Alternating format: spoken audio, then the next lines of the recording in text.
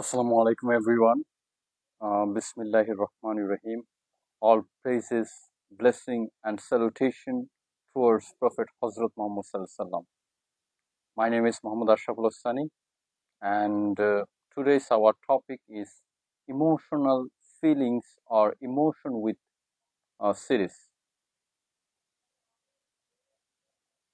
So without further delay, let's dive into it. When I sit to watch a series, everything else fade away. I can't think of anything but the story unfolding on the screen. The world around me becomes a distant hem as the show begins. Each scene pulls me deeper, making me forget everything. For those precious hours, I'm not in my living room, but living the lives of the character. I laugh, cry, and feel every emotion as if it were mine.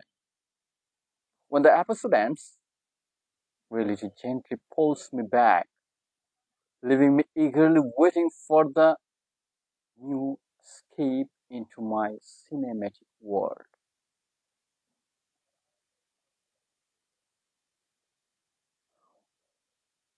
Basically, I was very much connected with uh, watching movies or series.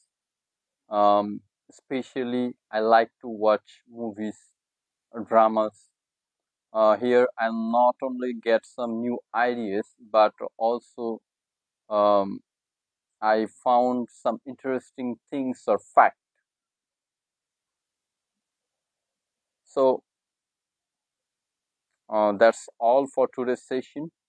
So thank you very much and goodbye.